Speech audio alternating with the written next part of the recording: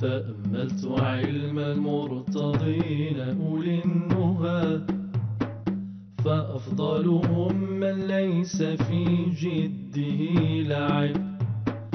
وما مالك إلا الهدى ولذا اهتدى.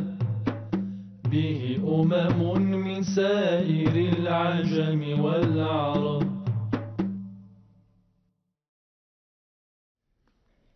الحمد لله رب العالمين والصلاة والسلام على أشرف الأنبياء والمرسلين سيدنا محمد وعلى آله وأصحابه أجمعين. بسم الله الرحمن الرحيم. قال عبيد الله بن يحيى رحمه الله وحدثني عن مالك عن أبي النضر مولى عمر بن عبيد الله عن أبي سلمة بن عبد الرحمن أنه قال له ألم أرى صاحبك إذا دخل المسجد يجلس قبل أن يركع؟ قال أبو النضر يعني بذلك عمر بن عبيد الله. ويعيب ذلك عليه أن يجلس إذا دخل المسجد قبل أن يركع. قال يحيى قال مالك رحمه الله تعالى وذلك حسن وليس بواجب. قال عبيد الله رحمه الله حدثني عن مالك عن أبي النضر اسمه سالم بن بن أبي أمية مات سنة سنة 29 وقيل 30 ومئة نعم. عن أبي سلمة بن عبد الرحمن أنه قال له أبو سلمة بن عبد الرحمن بن عوف مات سنة؟ سنة 94 مم. عن أبي سلمة بن عبد الرحمن أنه قال له ألم أرى صاحبك إذا دخل المسجد يجلس قبل أن يركع؟ المتكلم أبو سلمة بن عبد الرحمن والمخاطب أبو النضر وصاحب أبي النضر يقول له هو ألم أرى صاحبك من صاحبه؟ يقصد عمر بن عبيد الله وهو عمر بن عبيد الله بن معمر بن عثمان بن عمرو بن كعب بن سعد بن تيم بن مرة بن كعب بن لؤي بن غالب بن فهر القرشي التيمي أحد وجوه قريش وأحد أشرافها وأحد أجواد العرب وأحد الفرسان المشهورين الأمراء الشجعان. كان سيد بني تيم في وقته. قال رجل للمهلب بن أبي صفرة. مهلب بن أبي صفرة هذا أحد الأمراء الشجعان مشهور وهو وبنوه بالبطولة والشجاعة والفروسية. سأله رجل سأل المهلب فقال له حد من من شجعان العرب؟ فقال له المهلب أحمر قريش وابن الكلبية وصاحب النعل الديزج. فقال له الأعرابي والله ما نعرف أحدا من هؤلاء. فقال له بلى أحمر قريش هو عمر بن عبيد الله بن معمر. هذا. والله ما جاءتنا سرعان الخيل إلا ردها. سرعان الخيل أوائلها إلا ردها. وأما ابن الكلبية فمصعب بن الزبير أفرد في سبعة. وأعطي له الأمان. فأبى حتى قتل على بصيرته وأما صاحب النعل الديزج فعباد بن الحصين والله ما نزل بنا كرب قط إلا فرجه. فقال فرزدق وكان حاضرا ذلك المجلس للمهلب قال له فأين أنت؟ عن عبد الله بن الزبير وعبد الله بن خازم. فقال المهلب إنما ذكرنا الإنس ولم نذكر الجن. وعمر بن عبيد الله هذا هو الذي آه، قضى على أبي فديك الخارجي. أبو فديك الخارجي هذا كان استولى على البحرين وما ولاها. يعني سقط تحت يده آه، نواح كثيرة من بلاد المسلمين. وبعث إليه أمير الأموي المشهور خالد بن عبد الله القسري بعث إليه بأخيه أمية بن عبد الله في جيش كثيف فكسرهم أبو فديك وهزمهم فبعث خالد بن عبد الله إلى الخليفة عبد الملك بن مروان يخبره عن استفحال أمر أبي فديك هذا وأنه عجز عنه بجيشه الكثيف. وكان حاضرا ذلك المجلس عمر بن عبيد الله بن معمر هذا. فقال عبد الملك لعمر أرأيتك لو كان عندي وتد بين عيني؟ أكنت تنزعه عني؟ فقال عمر هذا قال إي والله يا أمير المؤمنين. فقال عبد الملك فأبو أبو فديك هذا واتد بين عيني. فسر إليه. فخرج يروم تجهيز جيشه فلقيه العجاج الشاعر الراجز المشهور. فعلم بوجهته فأنشده قصيدته التي يقول فيها قد جبر الدين الإله فجبر وعور الرحمن من ولى العور فالحمد لله الذي أعطى الحبر موالي الحق إن المولى شكر عهد نبي صلى الله عليه وسلم عهد نبي ما عفا ولا دثر وعهد صديق رأى برا فبر وعهد عثمان وعهدا من عمر وعهد إخوان هم كانوا الوزر. إلى أن يقول هذا أوان الجد إذ جد عمر وصرح ابن معمر بمن ذمر وهدر الجد من الناس الهدر ولاحت الحرب الوجوه والسرر فقد على فقد على السيل الزبا فلا غير واختار في الدين الحروري البطر إلى آخر قصيدته. فقصده عبيد الله عمر بن عبيد الله فهزمه وكسره وقتله وقتل من جيشه ستة آلاف وأسر منهم ثمانمائة فأطفأ هذا وكان هذا آخر أمر أبي فديك الخارجي. وكان مع ذلك جوادا قلت لكم هذا أحد أجواد العرب. ذكروا أن رجلا من قيس عيلان كانت له جارية كان بها مغرما وكان لها مكرما ولكن حبسه العذر فأصابته الفاقة والحاجة والفقر. فقالت له جاريته تلك بعني. فإن آه، حصلت على طائل عدت به عليك. فأتى بها إلى عمر بن عبيد الله بن معمر. يعرضها للبيع يبيعها إياه. أنا شنو قلت؟ يبيعها ياك. ما قلتش يبيعها. ما معنى هذا؟ يبيعها. فعل هذا؟ ماضي؟ أباعه معناه عرضه للبيع. فأتى بها يبيعها آه، لعمر بن عبيد الله فأعجبته فاشتراها بمئة ألف درهم. ثم قام ليأخذها ويذهب بها. فلما قامت هي التفتت إلى ذاك الذي يبيعها وقالت له بصوت المحزن هنيئا لك المال الذي قد أصبته ولم يبق في كفي إلا تفكري. أقول لنفسي وهي في كرب عيشة أقلي فقد بان الحبيب أم كثير أقلي من البكاء ولا أقلي من الصبر أو أكثري منه الحبيب بان ذهب. أقول لنفسي وهي في كرب عيشة أقلي فقد بان الحبيب أم كثيري إذا لم يكن آه، إذا لم يكن للأمر عندك حيلة ولم تجدي بدا من الصبر فاصبري فأجابها صاحبها الذي باعها فقال لها ولولا قعود الدهر بي عنك لم يكن يفرقنا, يفرقنا شيء سوى الموت فاعذري. أؤوب بحزن من فراقك موجع. أناجي به قلبا طويل التفكر. عليك سلام لا زيارة بيننا ولا وصل إلا أن يشاء ابن معمر. فقال ابن معمر هذا قد شئت فخذ بيدها هي لك والمال أيضا. هذا من جوده وأريحية العربي الذي هو كان. وكان كان يعني يتعهد بصلته. بعض الصحابة بعث مرة ما بمال لعبد الله بن عمر رضي الله عنهما. فقال ابن عمر للرسول بعد أخذه المال قل له وصلتك رحم قد جاءنا على فاقة. وبعث بمثله القاسم بن محمد بن أبي بكر فامتنع ولم وأبى قبوله. فتكلمت زوجه وقالت للرسول إن كان القاسم ابن عمه فأنا أيضا ابنة عمه فأعطنيه فأعطاها إياه فأخذته. ومن طريف ما يذكرون في ترجمته أنه تزوج آه، رملة بنت عبد الله الخزاعية. رملة هذه كانت امرأة حسنة الجسم لكن كانت جهمة الوجه عظيمة الأنف. وتزوج عائشة بنت طلحة بن عبيد الله وهذه كان يضرب بحسنها المثل.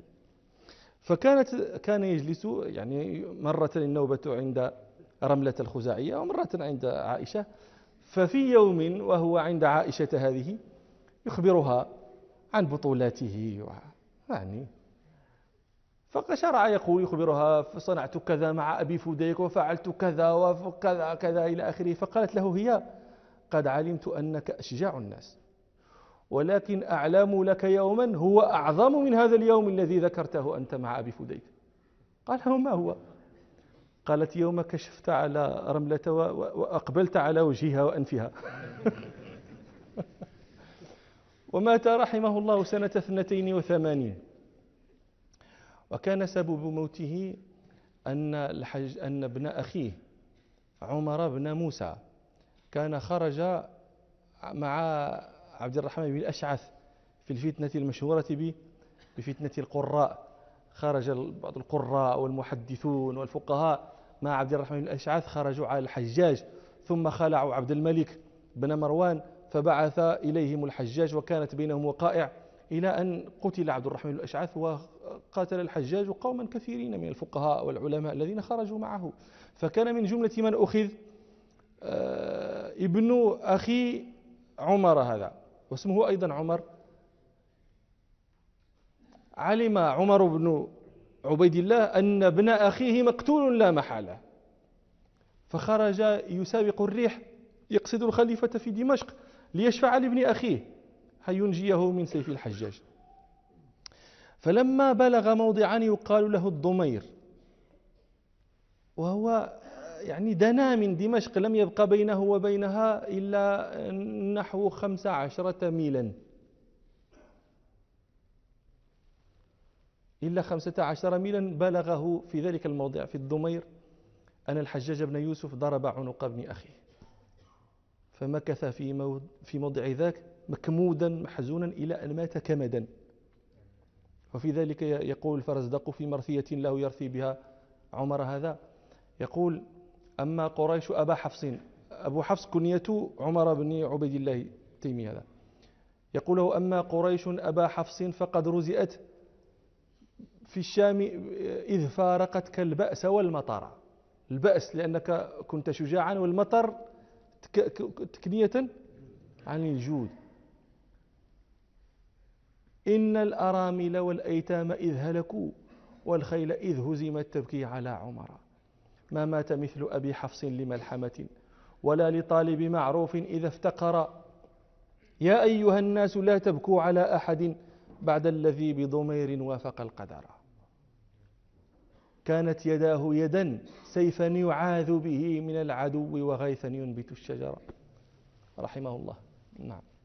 عن أبي النضر مولى عمر بن عبيد الله عن أبي سلمة بن عبد الرحمن أنه قال له ألم أرى صاحبك إذا دخل المسجد يجلس قبل أن يركع؟ ما القضية؟ كان عمر بن عبيد الله إذا دخل المسجد جلس من غير أن يصلي تحية المسجد قبل أن يركع. فرآه أبو سلمة بن عبد الرحمن فهو فأنكر ذلك. يقول لأبي النضر مولاه ألم أرى صاحبك يفعل كذا وكذا؟ قال أبو النضر يعني بذلك عمر بن عبيد الله ويعيب ذلك عليه أن يجلس إذا دخل المسجد قبل أن يركع. يعيب ذلك عليه. إما أن عمر هذا كان يعلم بهذه السنة ويتركها. هو هو يعيب عليه لأنه هو من أعيان الناس وأعيان الناس يقتدى بفعالهم فيعيب ذلك عليه. طيب قد يقول قائل هذا لأنه عندنا عندنا الآن احتمالان إما أن يكون عمر بن عبيد الله عالما بهذه السنة وإما أن يكون جاهلا بها وهو على الوضعين يعيبه لأنه يقول إذا كان عالما بها فتركها هذا معيب في شأنه لأنه يقتدي الناس بك فيه. وإذا كنت جاهلا بها فكيف يجمل بمثلك أن يجهل مثل هذا مع انتشاره وعلم الكافة والعامة به؟ ففي الحالتين أنت؟ أنت ملوم. نعم. قال يحيى قال مالك رحمه الله تعالى وذلك حسن وليس بواجب. مالك رحمه الله يعلق على هذا. ذلك اسم الإشارة يعود على ماذا؟ على على على الركعتين. قال ذلك حسن أن يركع قبل أن يجلس وليس بواجب. وهذا قول آه، الفقهاء عموما آه، قول أصحاب المذاهب الأربعة. خالف في ذلك كما قلنا لكم داود الظاهري الذي يرى وجوب ركعتي التحية وخالفه الناس وتقدمت المسألة والحمد لله. قال الإمام مالك رحمه الله تعالى باب وضع اليدين على ما يوضع عليه الوجه في السجود قال عبيد الله بن يحيى رحمه الله حدثني يحيى عن مالك عن نافع أن عبد الله بن عمر رضي الله عنهما كان إذا سجد وضع كفيه على الذي يضع عليه جبهته. قال نافع ولقد رأيته في يوم شديد البرد وإنه ليخرج كفيه من تحت برنس له حتى يضعهما على الحصباء أن عبد الله بن عمر رضي الله عنهما كان إذا سجد وضع كفيه على الذي يضع عليه جبهته. قال نافع رحمه الله تعالى ولقد رأيته في يوم شديد البرد وإنه ليخرج كفيه من تحت برنس له حتى يضعهما على الحصباء. قال عبيد الله رحمه الله حدثني عن مالك عن نافع أن عبد الله بن عمر رضي الله عنهما كان يضع يديه على الذي يضع عليه وجهه في السجود. وهذه سنة الصلاة. أن المصلي يضع يديه على ما يضع عليه وجهه. وقد قد روى الشيخان عن ابن عباس رضي الله عنهما أن رسول الله صلى الله عليه وسلم قال أمرت أن أسجد على سبعة أعظم. الجبهة وأشار صلى الله عليه وسلم بيده إلى أنفه. واليدين والرجلين وأطراف القدمين ولا نكفت الشعر ولا الثياب فهذه سنة الصلاة. ولذلك روى ابن القاسم عن مالك في الذي يجعل غشاء للأصابع من البرد أنه لا يصلي بها حتى ينزعها ليباشر بيده ما يباشر به وجهه. ومثل غشائه أصابعهم القفازات في عصرنا. فعلى على قول مالك هنا إنه ينبغي لمن كان يداه في قفازين أن لا يصلي بهما لأنه إذا صلى بهما وسجد هل يكون واضعا يديه على الذي يضع عليه وجهه؟ لا. وهذا مذهب ابن عمر يرى ذلك واجبا. وبعض العلماء يرى ذلك مستحبا غير واجب.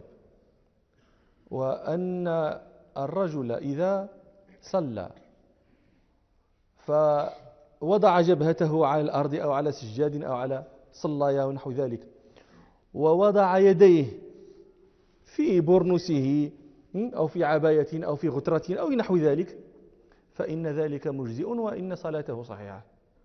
واستدلوا على هذا بأن المصلي يسجد على ركبتيه وهما مستورتان. مع أن الركبتين من الأعضاء التي أمر المصلي أن يسجد عليها. ولم ولم ولم يقدح ذلك في صلاته ولم يفسدها. فكذلك قال قالوا فكذلك قياس سائر الأعضاء إلا ما أجمع الناس على كشفه وهو الوجه. وهذا قول قياس قوي. والقول الأول أحوط وكان عليه كثير من العلماء. نعم. قال نافع ولقد رأيته في يوم شديد البرد وإنه ليخرج كفيه من تحت برنس له حتى يضعهما على الحصباء. ما البرنس؟ وإنه ليخرج يديه من تحت برنس له. البرنس عند العرب هو كل ثوب غطاء الرأس منه. هذا سلهام برنس لماذا؟ لأن غطاء الرأس منه. جلابة برنس أيضا لأنها داخلة في هذا. فكل ثوب غطاء الرأس منه فهو برنس معنى هذا أن أن ابن عمر كان يصلي في اليوم الشديد البرد. وتعلمون أن البرد إذا اشتد وكنت في ملتحفا ببرنس فإن يديك يكونان تحت البرنس لا خارجه. لكنه إذا أراد السجود أخرج يديه تحت البرنس ليضعهما على ما وضع عليه وجهه. وهذا من شدة اقتفائه واتباعه رضي الله عنه وإلا فقد قلنا لكم إن ذلك ليس بواجب. وقد روى الشيخان عن, ابن عن أنس بن مالك رضي الله عنه قال كنا نصلي مع رسول الله صلى الله عليه وسلم في شدة الحر فإذا لم نستطع فإذا لم يستطع أحدنا أن يمكن جبهته من الأرض بسط رداءه فسجد عليه. إذا سجد عليه سيضع عليه يديه إلى آخره. نعم. قال عبيد الله بن يحيى رحمه الله وحدثني عن مالك عن نافع أن عبد الله بن عمر رضي الله عنهما كان يقول من وضع جبهته بالأرض فليضع كفيه على الذي يضع عليه جبهته ثم إذا رفع فليرفعهما فإن اليدين تسجدان كما يسجد الوجه. وهذا مثل الذي تقدم إلا أن فيه مسألة زائدة. إذا وضع جبهته فليضع يديه على الذي وضع عليه جبهته. وإذا رفع رأسه أيضا يجب أن يرفع يديه كما رفع رأسه كما تسجد كما يسجد الوجه وبعد السجود يجيء رفع فكذلك تسجد اليدان وبعد اليدان يجيء رفع. فحكم اليدين حكم الوجه وضعا ورفعا. ثم إن هنا قضية من عندما تقوم من السجود للجلوس إذا لم ترفع يديك من الأرض هل تعتدل جالسا؟ والاعتدال فرض من فرائض الصلاة. قد قال صلى الله عليه وسلم في حديث أبي مسعود البدري الذي روى أبو داود وغيره لا تجزئ صلاة الرجل حتى يقيم صلبه في الركوع والسجود. في الركوع إقامة الصلب والاعتدال. كل الأوضاع التي يجب فيها الاعتدال فالاعتدال فيها فرض. ومنها الجلوس بعد بعد السجدة. نعم. قال الإمام مالك رحمه الله تعالى باب الالتفات والتصفيق عند الحاجة في الصلاة. قال عبيد الله بن يحيى رحمه الله حدثني يحيى عن مالك عن أبي حازم سلمة بن دينار عن سهل بن سعد الساعدي رضي الله عنه أن رسول الله صلى الله عليه وسلم ذهب إلى بني عمرو بن عوف ليصلح بينهم. وحانت الصلاة فجاء المؤذن إلى أبي بكر الصديق فقال أتصلي للناس فأقيم؟ قال نعم. فصلى أبو بكر فجاء رسول الله صلى الله عليه وسلم والناس في الصلاة فتخلص حتى وقف, حتى وقف في الصف فصفق الناس وكان أبو بكر لا يلتفت في صلاته. فلما أكثر الناس من التصفيق التفت أبو بكر فرأى رسول الله صلى الله عليه وسلم فأشار إليه رسول الله صلى الله عليه وسلم أن امكث مكانك. فرفع أبو بكر يديه فحمد الله على ما أمره به رسول الله صلى الله عليه وسلم من ذلك. ثم استأخر حتى استوى في الصف وتقدم رسول الله صلى الله عليه وسلم فصلى ثم انصرف فقال يا أبا بكر ما منعك أن تثبت إذ أمرتك؟ فقال أبو بكر ما كان لابن أبي قحافة أن يصلي بين يدي رسول الله صلى الله عليه وسلم؟ فقال رسول الله صلى الله عليه وسلم ما لرأيتكم أكثرتم من التصفيق من نابه شيء في صلاته فليسبح فإنه إذا سبح التفت إليه وإنما التصفيق للنساء. قال عبيد الله رحمه الله وحدثني عن مالك عن أبي حازم سلمة بن دينار. متى مات أبو حازم؟ أرى جعجعة ولا أسمع جعجعة ولا أرى طحينا. ياك. ومتى مات سهل بن سعد أسكت تحفظ تطلع أنت وما يمكنش المجلس عامر وما ما شاء الله وما واحد تيجاوبني واحد. مم. زيد. عن سهل بن سعد الساعدي رضي الله عنه أن رسول الله صلى الله عليه وسلم ذهب إلى بني عمرو بن عوف ليصلح بينهم. بنو عمرو بن عوف هم آه، بنو عمرو بن عوف بن مالك بن الأوس. آه، والبطن بطن من الأوس والأوس والخزرج هم هما الأنصار. هما الأوس والخزرج وهما أبناء وهما أبناء قيلة. وعمرو بن عوف هؤلاء أحياء كثيرة قبيلة كبيرة آه، وكان مسكنها قباء. أنه صلى الله عليه وسلم ذهب إلى بني عمرو بن عوف ليصلح بينهم وحانت الصلاة. يعني النبي صلى الله عليه وسلم ذهب إلى قباء. ليصلح بينهم لشيء كان وقع بين بني عمرو بن عوف خصومة كانت اشتدت بينهم فذهب ليصلح صلى الله عليه وسلم. وحانت الصلاة. حضرت وفي وهي العصر كما في رواية عند البخاري. فجاء المؤذن إلى أبي بكر الصديق فقال أتصلي للناس فأقيم؟ جاء المؤذن هو بلال رضي الله عنه جاء إلى أبي بكر الصديق. ليستأذنه ليصلي بالناس. ولم يفعل هذا بلال من نفسه وإنما ذلك بأمر من رسول الله صلى الله عليه وسلم. ففي رواية عند الإمام أحمد وعند أبي داود لهذا الحديث في, في تلك الرواية أن رسول الله صلى الله عليه وسلم قال لبلال إن حضرت صلاة العصر فلم آتك فمر أبا بكر فليصلي بالناس. إذا هذا أمر من النبي صلى الله عليه وسلم لبلال بأن يقيم أبا بكر. وهذا فيه فضيلة من فضائل أبي بكر التي لا تحصى. الناس ينتظرون الصلاة حضرت الصلاة واجتمع المسلمون في المسجد والنبي صلى الله عليه وسلم في قباء. فجاء الناس ترى بلالا جاء قاصدا أبا بكر فقط. يستأذنه أن يصلي بالناس. وكانوا يختارون لإمامتهم سيدهم وأفضلهم وخيرهم. والصحابة يرون هذا. وما أنكر منهم أحد. ولا قال أحد لماذا قلت لماذا لماذا ذهبت إلى أبي بكر؟ لماذا ما ذهبت إلى علي ولا إلى عثمان ولا إلى سعد ولا إلى عمر؟ ما تكلم أحد. ما على أي شيء يدل هذا؟ هل علموا أن النبي صلى الله عليه وسلم هو من أمر بلالا بهذا؟ هم يرون هذا شيء يتطوع يعني كأنه شيء يتطوع به بلال. ومع ذلك ما أنكر أحد ولا ولا خالف أحد ولا عارض أحد. هذا يدل على أنهم جميعا مسلمون بأن أبا بكر له حيثية له وضع له مقام لم يرتقي إليه أحد منهم إطلاقا. وهذا سيزيده إيضاحا رسول الله صلى الله عليه وسلم.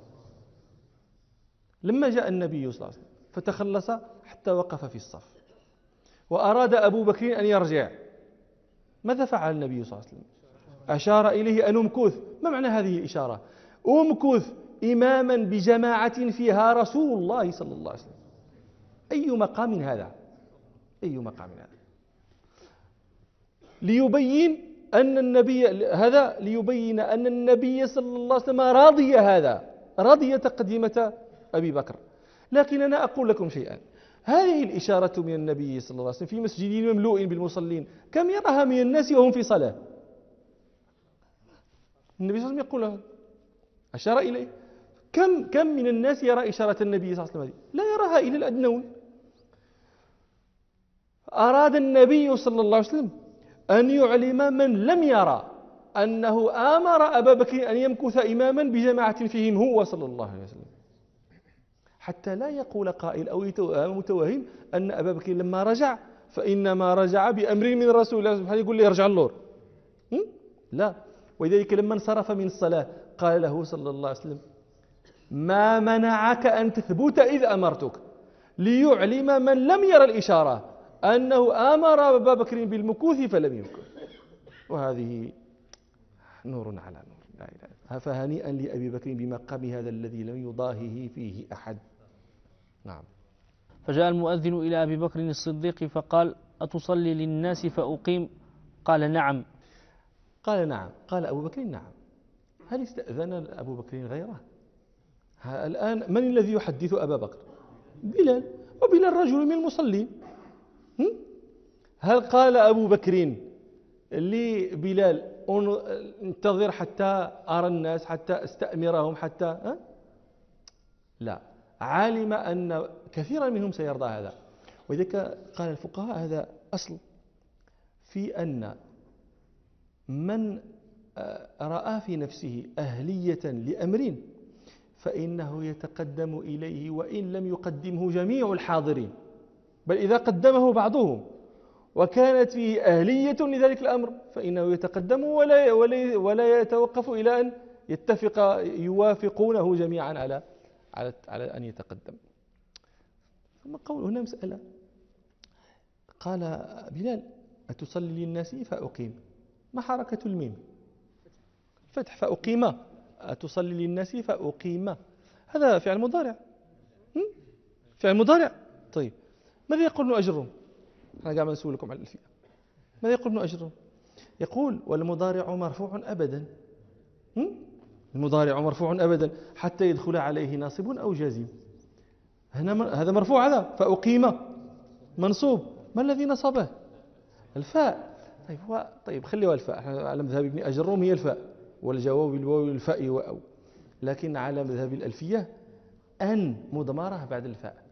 كأن الكلام. أتصلي للناس؟ فأن أقيم. إلا أن أن هذه واجبة الاستتار. لا يجوز أن تقول فأن أقيم. تضمرها والسلام يقول ابن أجرم وبعد فجواب نفي أو طلب محضين أن وسترها حتم النصب. أتصلي للناس فأقيم. هذه الفاء تسمى عندهم فاء السببية. ما هي فاء السببية؟ كيف نميز بين فاء السببية وفاء العطف؟ جاء زيد فعمر. كيف تقول هذه فاء عطف؟ أتصلي للناس فأقيم. هذه ماشي فاء عطف هذه فاء سببية. عندنا جملتان. أتصلي للناس فأقيم. ياك. جملتان. جملة الأولى استفهام. ثم جملة الجواب. والفاء التي بينهما قلنا سببية لأن ما قبلها سبب لما بعدها. ما الذي قبل الفاء؟ أتصلي للناس. ما الذي بعدها؟ فأقيم. طيب قلنا هذا سهل. لا يفزعكم النحو ولا ما تخلعوش. آه، سهل حيث بعض الناس يقول النحو صعيب شوية علينا. راه ما, ما صعيب. بعد إلا بديتي تقول صعيب النص ديال الفهمه مشات. يقول سهل الشيء الله تعالى يسهلوا علينا. يقولوا آمين. ما هو سبب الإقامة؟ فتصلي للناس فأقيم. ما هو السبب الذي سيجعل بلال يقيم؟ ما هو؟ هو أن يقبل أبو بكر أن يصلي بالناس. أتصلي بالناس؟ سبب؟ ما قبل الفاء سبب فيما بعدها سبب في الإقامة. لو قال له لا أصلي لن يقيم. وضح الكلام. طيب. إذا كانت الفاء جاءت جوابا لأمور فإنها تنصب هي أمور تحتاجون حفظها. جمعها واحد في بيت. أمور تسعة. جمعها إنسان في بيت واحد. يقول مر وادع وانهى وسل. واعرض لحظهم تمن وارجو كذاك النفي قد كمل. مر وادع مر وادع وانهى وسل. واعرض لحظهم تمن وارجو كذاك النفي قد كمل. إذا جاءت الفاء جوابا بعد هذه الجمل بعد جملة من هذه الجمل. تسع. فإنها تنصب الفعل المضارع. يقول ومر. إذا جاءت جوابا للأمر. اجلس في الدرس. فتستفيد إيش؟ دا فتستفيد. جواب أمر. آه، مر قال رجل أعرابي يخاطب ناقته. الحمد لله لا يعيش في زمنكم هذا. لرميتموه بالحمق. يقول لناقته يا ناق سيري. ها فعل الأمر يا ناق سيري عنقا فسيحا. إلى سليمان فنستريحا. هذا وادعو ما هو الدعاء؟ دعاء هو أمر فعل أمر. اللهم آتنا في الدنيا حسنة. آتنا. ما هذا أمر. لكن لما كان الأمر من الأدنى إلى الأعلى لا يقال فيه أمرا. لا يقال فيه أمر إنما يقال فيه دعاء. من ذلك قول ربنا سبحانه حكيا عن موسى عليه السلام ربنا اطمس على أموالهم واشدود على قلوبهم فلا يؤمنوا حتى يروا العذاب الأليم. هذه منصوبة. بماذا؟ مع علامة نصبها حذف النون لأنها من الأفعال الخمسة. فلا يؤمنوا. وقعت الجملة الفاء جوابا على إيش؟ على الدعاء. مر وادعو يكون وضح شيء الحمد لله. وانهى. قال ربنا ولا تطغوا فيه. فيحل عليكم غضبي. فيحل. لماذا؟ لأن الفاء وقعت في جواب النهي. ولا تطغوا فيه. فيحل عليكم غضبي. وسل استفهام سؤال سل. مثل هذه أتصلي للناس فأقيم؟ ألا زرتنا؟ لا ولكن هذا ماشي الاستفهام أتزورنا فنكرمك؟ فهل يقول ربنا حكيا عن عن أولئك فهل لنا من شفعاء فيشفعوا؟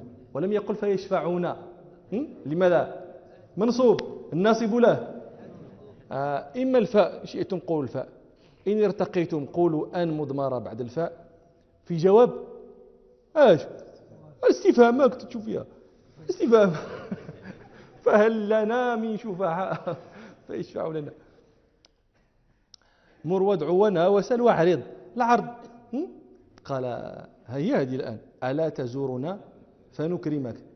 هذه غريبة من عند تيقولوا الطلبة يقول لك ألا, ألا نزورك فتكرمنا. يقول أحدهم يقول أحدهم آه، يا ابن الكرام ألا تدنو فتبصر ما قد حدثوك فما رأين كما سمع. وأعرض لي حظ الحظ التحضيض.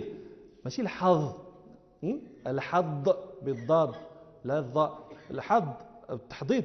ما هو؟ هو هو هو العرض لكن بإغراء أكثر هو ارتقاء ب في في في في العرض. كما في آه، يضربون لذلك مثلا قول ربنا آه، وأنفقوا مما رزقناكم من قبل أن يأتي أحدكم الموت. فيقول ربي هذه ماشي هذه معطوفة. فيقول ربي لولا أخرتني إلى أجل قريب. فأصدق لكن ماشي ديالكم هذه. أنتم كيفاش تقراو أنتم. على على من القراءة عند فأصدق وأكون من الصالحين. فأصدق لماذا لماذا لماذا نصبت؟ هذا لماذا نصب الفعل؟ لأن الفاء وقعت جوابا في جملة تحضيض ها ها. وعرض لحظ تمنى تمني. يا ليتني كنت معهم. فأفوز. فوزا عظيما. تمنى ورجو ترجي. أتصلي للناس فأقيم. نعم. فجاء المؤذن إلى أبي بكر الصديق فقال أتصلي للناس فأقيم؟ قال نعم. فصلى أبو بكر.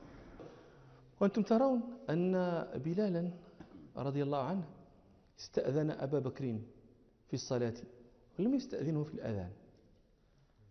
أذن هو أذن لكن لما أراد أن أن أن أن يصلوا استأذن أبا بكر. لماذا؟ لأن الأذان لا اتصال له بالصلاة. ليس من شرط الأذان أن يكون متصلا بالصلاة. فلذلك لا, لا, لا يتوقف على استئذان الإمام. لكن بدخول الوقت يؤذن الإمام. لكن الإقامة متصلة بال يقول البشار. وسنة الإقامة المفضلة مفردة معربة متصلة. متصلة بالصلاة. لا, لا, لا, لا, لا يصلح أن يقيم ثم يجلس. ينتظر. لا. فلذلك لما كان من شرطها الاتصال بالصلاة لما كان من شرط الإقامة الاتصال بالصلاة استأذن أبا بكر فيها. ولما لم يكن من شرط الأذان الاتصال بالصلاة لم يستأذن أبا بكر في الأذان وإلى مجلس آخر إن شاء الله. سبحانك اللهم وبحمدك أشهد أن لا إله إلا أنت أستغفرك وأتوب إليك والحمد لله رب العالمين.